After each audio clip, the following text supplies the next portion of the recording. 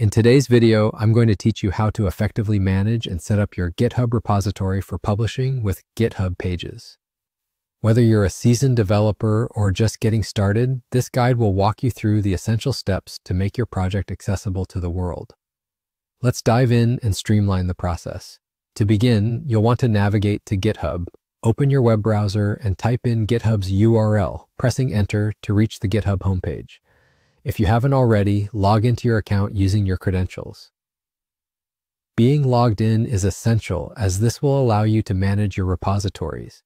Once you're on the GitHub homepage and logged in, it's time to focus on your profile. You'll find an icon or image in the corner representing your profile.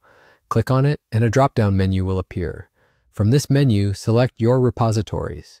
After clicking on your repositories, you'll be greeted with a list of all the projects you've been working on. Locate the specific repository you wish to work with and click on it.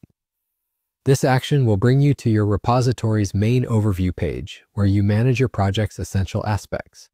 From here, you'll want to direct your attention to the top of the page where you'll find several tabs like Code, Issues, and so on, but for our purposes, click on the Settings tab. Once you're in the settings of your repository, there are many options, but the next step is crucial for setting up your GitHub pages. Scroll down until you see the Pages section in the sidebar. Click on it to configure your GitHub Pages settings. Here you will see the Source or Branch section. This area determines where GitHub Pages will build your project from. Make sure that this is set to main or your default branch, ensuring that GitHub Pages knows which part of your repository you want it to publish.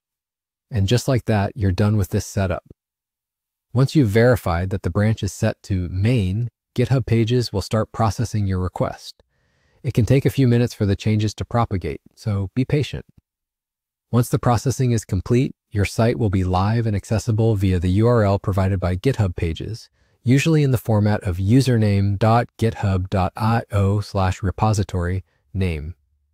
If you encounter issues along the way, double check each step. Ensure that you're logged in, accessing the correct repository, and have the correct permissions.